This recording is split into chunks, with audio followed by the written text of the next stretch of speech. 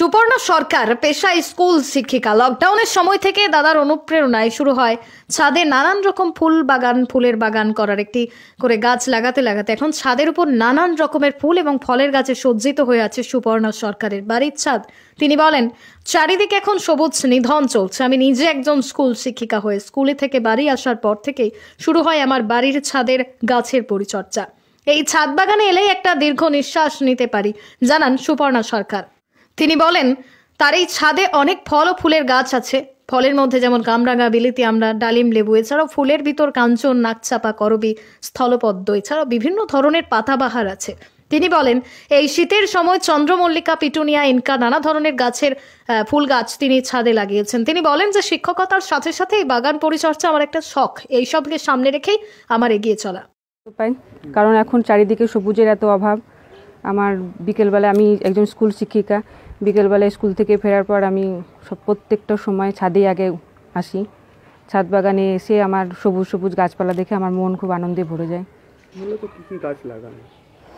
মূলত অনেক ধরনের গাছই আছে। ফলের গাছও আছে ফলের মধ্যে আছে কামরাঙা তারপরে মিষ্টি আমরা বিলিতি আমরা যেটাকে বলছে ডালিম আছে আর ফুলের মধ্যে কাঞ্চন আছে নাকচাপা আছে করবি আছে। স্থলপদ্ম আছে বিভিন্ন ধরনের পাতাবাহার আছে।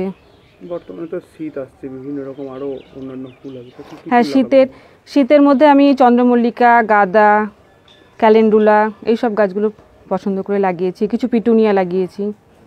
কীভাবে যত্ন নেন এই ফুল গাছের? যত্ন প্রত্যেক দিন চেষ্টা করি গাছের গোড়াগুলোকে একটু খুঁড়ে দেওয়ার যাতে ভেতরে ভালো অক্সিজেনটা ঢুকতে পারে। তারপরে গাছের মধ্যে কোনো আগাছা হলে সেগুলোকে তুলে ফেলি। প্রতিদিন গাছে তো নিয়মিত জল দিই। তারপরে সপ্তাহে অন্তত একবার খোল পচার জল দেওয়ার চেষ্টা করি।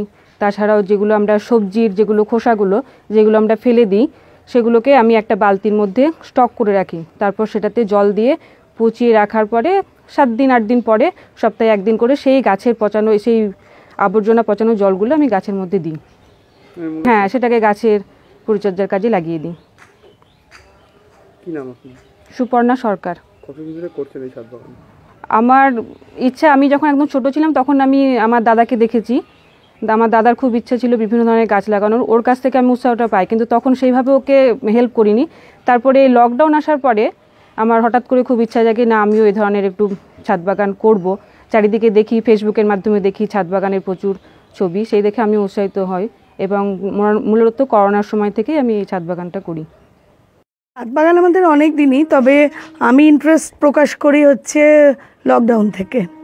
মানে দু হাজার উনিশ কুড়ি একুশ থেকে মানে দু হাজার উনিশ থেকে মেনলি করা। তখন থেকে মানে আমি প্রচণ্ডভাবে ছাদ বাগানের প্রতি ভালোবাসা জন্মাই। আর এটা আমার একদম একটা ভীষণ নিঃশ্বাস নেওয়ার জায়গা, ভালো লাগার জায়গা। যখনই সময় পাই ছাদে আসি, শুধু তো ছাদ বাগানে গাছপালা নয়, এই যে আমার পোষ্যরা আছে পাখি আছে খরগোশ আছে এদের সাথে পায়রা আছে। সময় কাটাতে ভীষণ ভালো লাগে মনটা পুরো অন্যরকম হয়ে যায়। মূলত কী কী গাছ লাগান?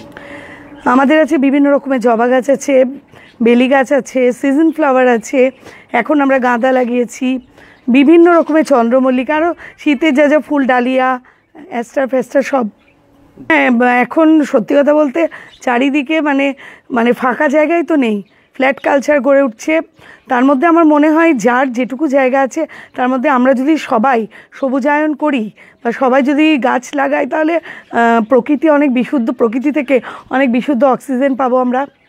এবং মনের যে খোরাক যেদিকেই তাকাবো সেদিকেই সবুজ, বাইরে যেতে হবে না। এটা একটা আলাদা একটা এর তৃপ্তি।